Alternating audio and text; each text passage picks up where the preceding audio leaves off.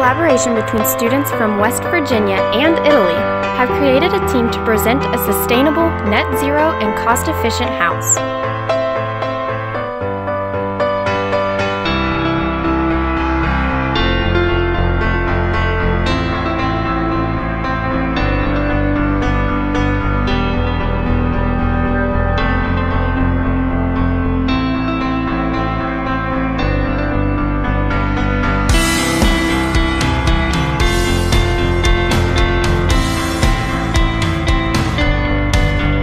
The concept of STILE is based on the contrast between two different shapes the rigid square box and the arch's curve.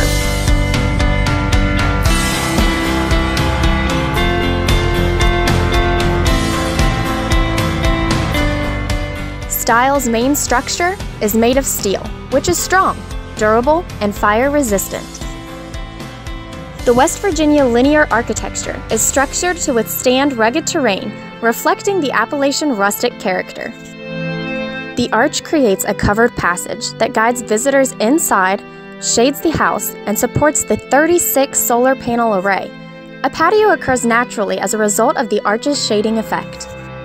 STILE's floor plan maximizes public spaces and promotes an open flow with the outdoors. The northern section contains private spaces, while the rest of the house is designed as common space with entertaining in mind.